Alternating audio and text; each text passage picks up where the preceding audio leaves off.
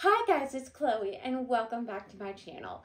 But today is the long awaited and anticipated what I got for Christmas video.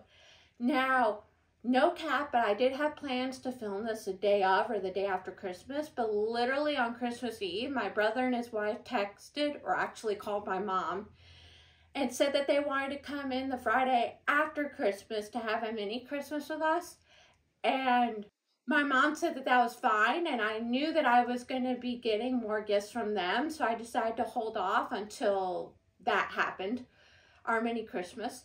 But before I get into this, I just want to let y'all know that I'm not trying to be braggy or boasty. It's just that I want to show you what a disabled person like me would want.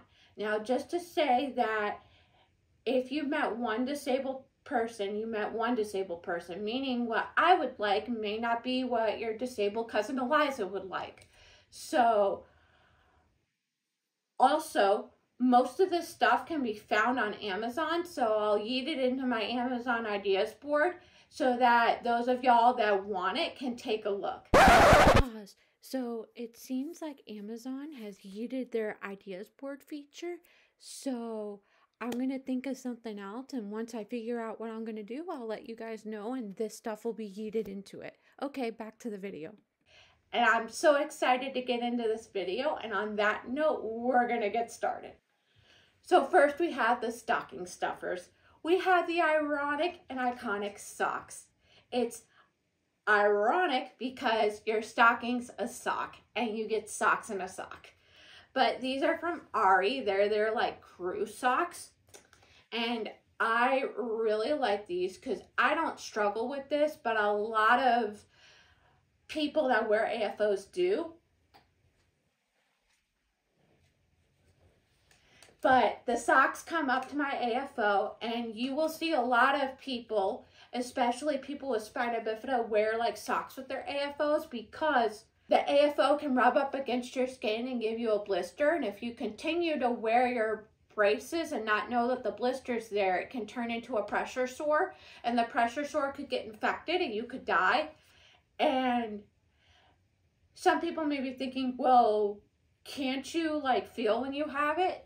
So I can. However, for some people with spina bifida, they are unable to feel that because there's just a lot of different factors that go into if you're going to be able to feel your legs or not.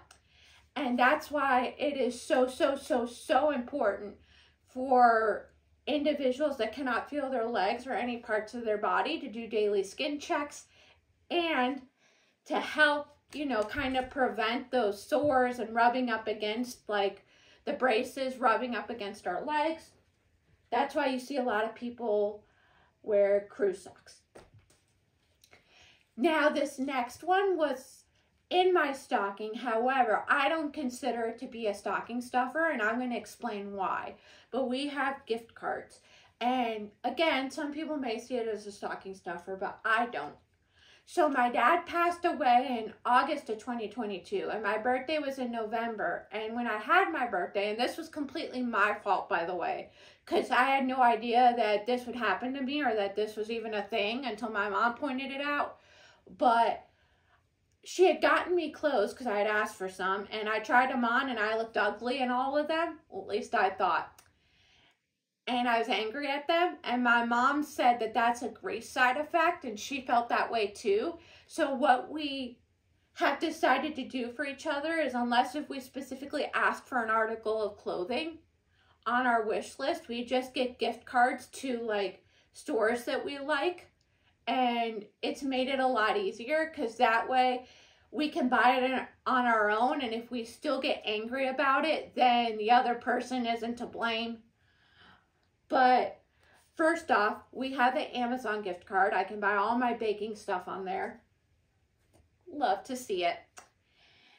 And we have the Altar'd State gift card. If you know, you know, but it's basically like a Christian clothing boutique.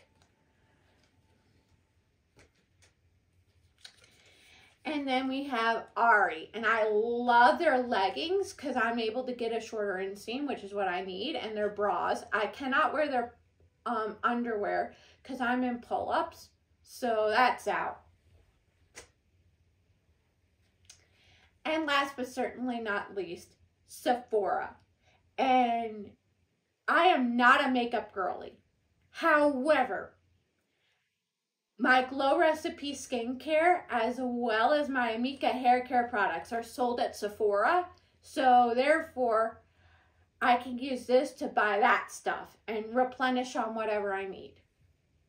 Which speaking of skincare,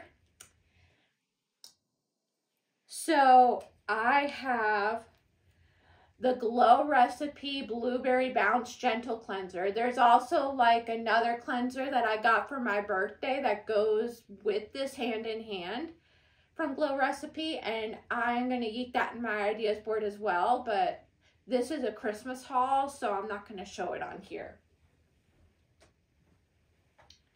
And then no hate, I'm going to try to do my best to like say this but it's a Glow Recipe Strawberry Smooth BHA and AHA Salicylic Serum.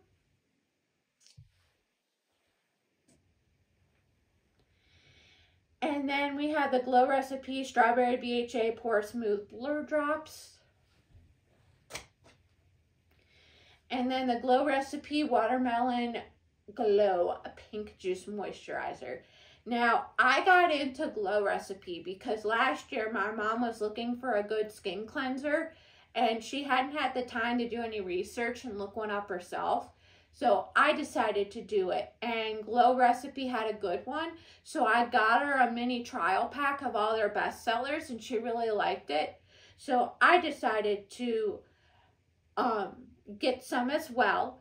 And I took the skin quiz online and they told me what products I needed based on the skin quiz, and that's what I've been using. I also got Super Mario Bros. Wonder because, yes, I do have a Nintendo Switch. However, even though I don't play very often, I still have a Switch. And I love the game. I played it for a couple days now. Love it. And I don't really play video games like that often, but when I do, I play but I'm not like the stereotypical autistic that's into anime. I'm just into like Mario, um, and then there's a couple of other games as well.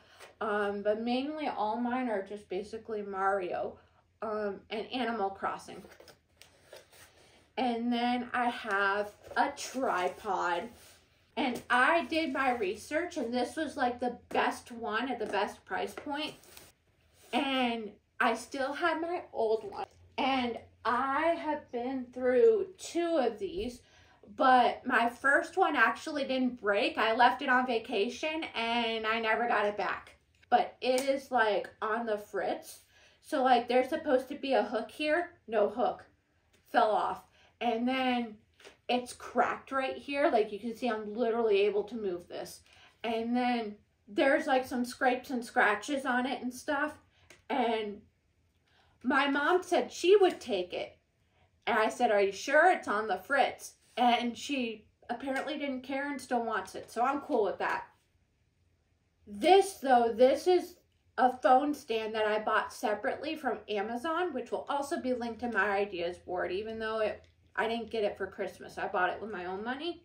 And it's really nice and I really like it. And I feel like it'd be too complicated for my mom to use because she's not the best with technology. So I am going to give her the one that came with my tripod, my old tripod, because it'll be a lot easier for her to use and more like non-technology friendly.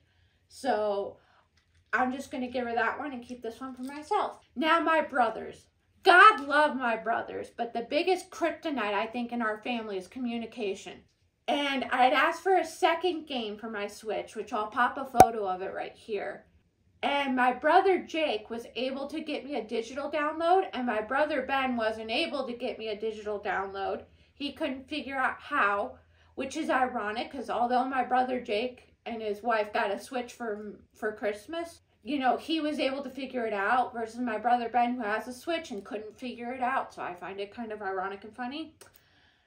But he got me gift cards in the amount that it would take for me to pay for it by myself. So even though they didn't communicate, it ended up working out because now I can buy whatever I want. And there was actually one other game that I wanted that I didn't get, so I'm gonna buy that with that money.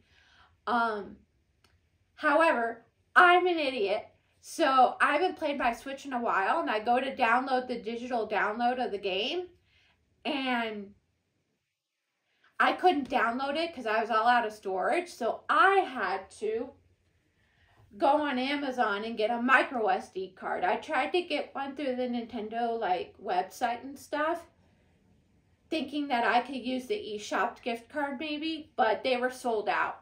But that's everything I got for Christmas. And keep in mind, if you met one disabled person, you met one disabled person. So just because I like something doesn't mean that your disabled cousin Eliza or Billy Bob's to want it also. And also, I've seen online where a lot of parents of like disabled individuals, especially those with autism, will say that their Christmas isn't perfect because like their daughter didn't get excited when they got them a doll because that's what a girl her age would want. Or the daughter just wanted to stay home and eat chips and queso all day. Or, you know, their son wasn't able to participate in church choir because he's in a wheelchair and they didn't have a ramp to get up to the stage. And the thing is is that just because you celebrate Christmas differently and not in the way that other people do doesn't mean that it isn't perfect. And I feel like a lot of disabled people's like parents should just push their pride aside and they should celebrate Christmas however it works best for their family. That way, it's a better Christmas for everybody. And what's really helped me, so my parents bought me my special interest, and that's helped me the most. And it actually helped me appreciate and enjoy Christmas. And I don't really have any like sensory issues. Back then, I used to not eat some of the food, but that's because I was a picky eater. And I have a feeling if ARFID was a thing back then, I would have um, been diagnosed with that. But again, I like everything now. And that's basically it. Comment below what you got for Christmas or what things have helped or not have helped your family. And thank you guys so much for watching this video, and I can't wait to see you guys again soon. Bye!